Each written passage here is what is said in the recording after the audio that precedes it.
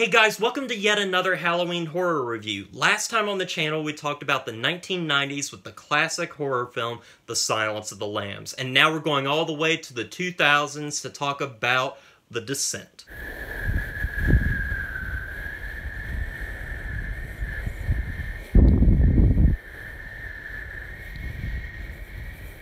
The Descent was directed by Neil Marshall and follows the story of six young thrill seekers as they enter inside an unmarked cave that is inhabited by creatures that are out to get them. And so they must learn to avoid these creatures while also finding a way to escape the labyrinth. Guys, this is a film that I've been really excited to talk about and really excited to finally sit down and see. There are a lot of friends that I know that absolutely love this film, that say it is one of the best horror films of the early 2000s, and I've heard nothing but great things about this movie, so I was really looking forward to it. And after watching it, guys, this is a brutal, violent, tense, and also just a claustrophobic nightmare.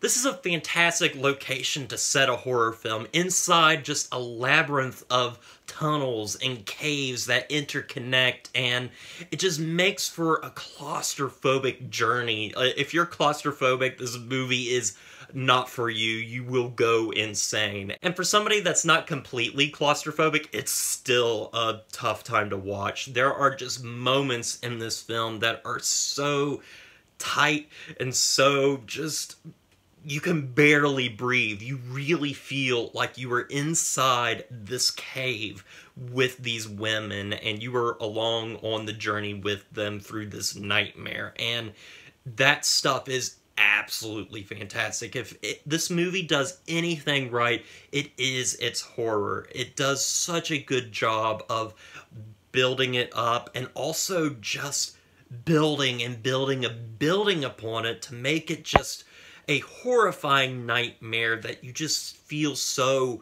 wrapped up in. Like, this is a thrilling movie. On top of just being a really terrifying and scary film, this is a roller coaster ride of a film. I was completely entertained from beginning to end, just had a blast with this, and the horror elements are so good. I love the design of the creatures in this film. They were kind of inspired by Nosferatu, the um, 1920s horror film, which I did last year on um, the Halloween reviews, and they are grotesque and ugly and just look so good, and they're just men in suits, but they feel so real, and that was what was so great.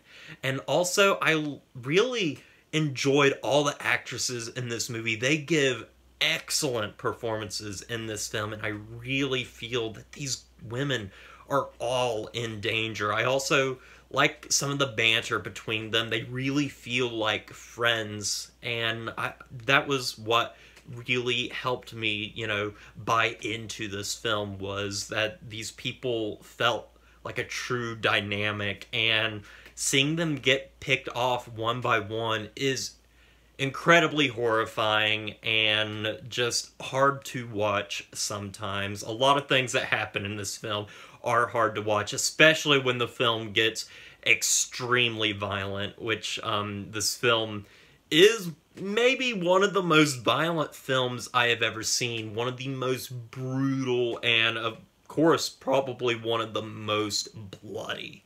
And I had a bloody good time with this film. This was just a lot of fun. It was a blast. It made me just really tense, made me claustrophobic, just made me feel like I was in that cave. And the movie, on top of just being really entertaining and really good at its horror, is also incredibly good with its sound design and its music, which the music in this film ranges from being just so tense and oppressive to being just heroic and also just beautiful at times, especially with a track that plays near the very end of this film that is incredibly beautiful to watch. And in fact, that scene alone is it's a breath of fresh air to say the least. It is beautiful. I won't go into spoilers, but it, it, it is so satisfying and so fantastic.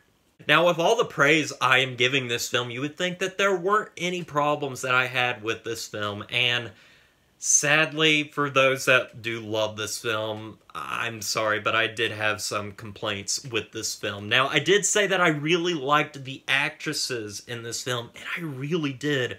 I thought they all did a really good job, but their characters I couldn't as much. I didn't really care for any of these characters that much. I didn't like them really, aside for maybe the main character, um, who is played by a wonderful actress. I can't remember her name at this moment, but the characters just were not that interesting, and sometimes I just found them a bit too dumb. And there are moments in this movie where just dumb stuff happens. They make stupid decisions and it costs them, well, you know, their lives, basically. And it's one of those things, like, when you come in horror films, like, everybody has to mess up at one point, but sometimes it just, it feels too much. Like, people aren't this stupid to do this. Um, you're in an unmarked cave and you're just running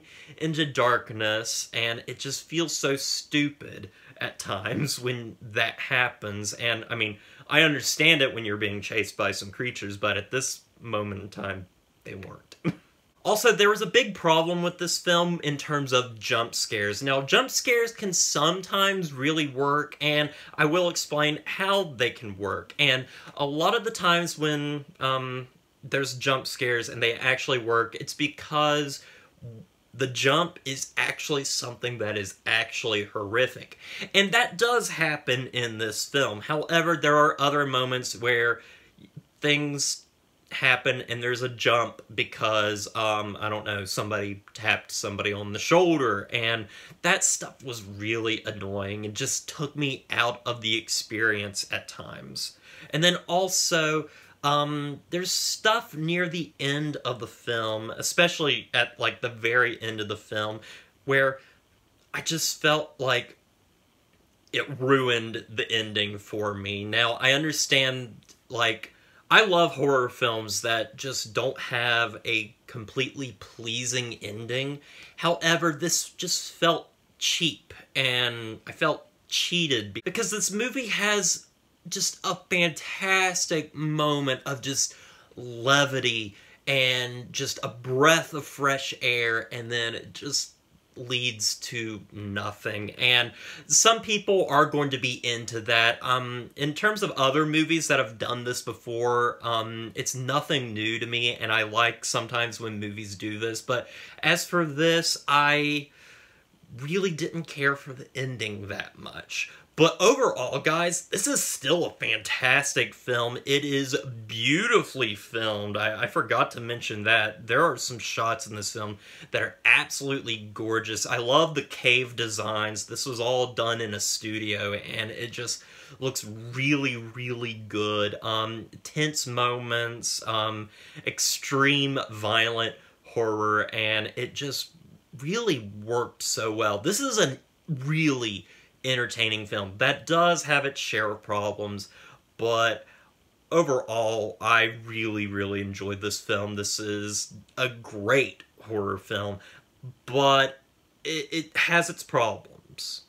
I'm going to give The Descent a 7 out of 10. Well, guys, I want to thank you for watching this review. I hope you enjoyed it, and next time on the show, we are going to be talking about the 2010s with a classic horror film that everybody knows. It's one of my favorites, The Conjuring. So look forward to that, and as always, don't forget to like, comment, and subscribe to the channel, and I'll see you guys in the next review.